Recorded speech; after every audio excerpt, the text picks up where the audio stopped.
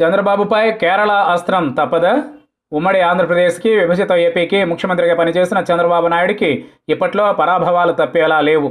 ఆయన అద్దెకు ఉంటున్న లింగమనేని ఎస్టేట్ చట్టవిరుద్ధంగా నదీ పరివాహక చట్టాన్ని ఉల్లంఘించి నిర్మించినందున ఖాళీ చేయాలని వైసీపీ సర్కార్ వచ్చిన నాటి నుంచి అరచి గోల పెడుతోంది. కృష్ణా వరదల సమయంలో ఈ అంశం జాతీయ స్థాయి వరకు వెళ్ళింది కూడా. అయినా తాను నివాసం ఉండే ఇల్లు కూల్చేదాకా వెళ్ళకుండా ఉంటే మైలేజ్ వస్తుందన్న లెక్కల్లో చంద్రబాబు ఖాళీ చేసేందుకు ఇప్పటివరకు ప్రయత్నాలు చేస్తుంది లేదు. దాంతో ఇటీవల మళ్ళీ సర్కార్ తుది గడువు విధించింది. కరకట్టపై ఉన్న ఇతర అక్రమ నిర్మాణాల్లో ఉన్న పేదలకు ప్రత్యామ్నాయ స్థలాలు చూపి ఖాళీ చేయించే పనిలో పడింది. వీటన్నింటికన్నా ముందు ప్రజావేదికను కూల్చి ముందస్తు హెచ్చరికలను చంద్రబాబుకి పంపింది వైసీపీ ప్రభుత్వం. అయినా అటు నుంచి పోరాట వైఖరే తప్ప వెనకడుగు వేయబోమనే సంకేతాలే వచ్చాయి.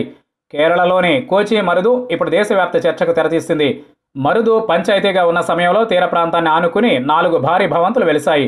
వాటి నిర్మాణానికి పంచాయతీ అనుమతులు మంజూరు చేసింది. ఆ తర్వాత మరుదు మున్సిపాలిటీగా మారింది.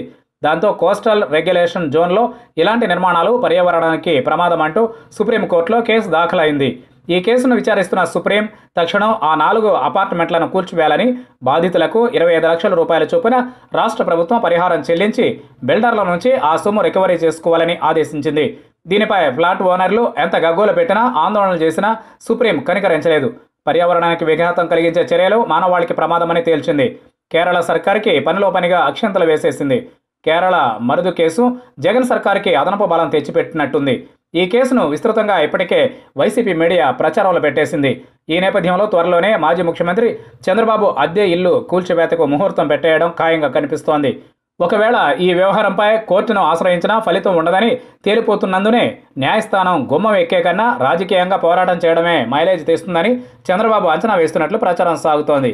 ఆయన వ్యూహాలు ఎలా ఉన్నా కేరళ మరుదు కేసుతో నదీ పరివాహక ప్రాంతంలోని లింగమనేని నిర్మించిన అందమైన భవంతికి మాత్రం రక్షణ లభించడం కష్టమని విశ్లేషకులు భావిస్తున్నారు. చంద్రబాబుపై కక్ష సాధింపు టీడీపీ నేతలపై కక్ష సాధింపు అనే ప్రచారం ఎలాగూ ఉన్నందున కొత్తగా పోయేదేమీ లేదని జగన్ సర్కార్ దూకుడుగా వెళుతుందా లేక మరికొంతకాలం చంద్రబాబుతో మైండ్ గేమ్ ఆడుతుందో చూడాలి.